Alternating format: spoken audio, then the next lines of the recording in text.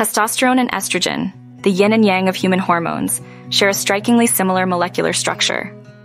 Both are part of the steroid hormone family, with a common carbon skeleton. Yet, testosterone boasts a unique methyl group, humorously dubbed a lone penis, which estrogen lacks, a small but crucial distinction. Imagine testosterone with a red highlighted methyl group, a badge of its identity.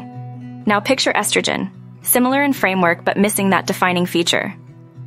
This tiny molecular variance underscores their different biological roles, a testament to nature's precision. James McBride Dabbs's analogy captures the essence.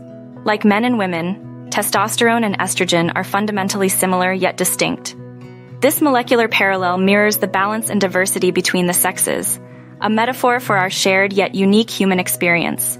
Testosterone fuels the development of male traits, from reproductive tissues to muscle mass, and influences aggression and libido.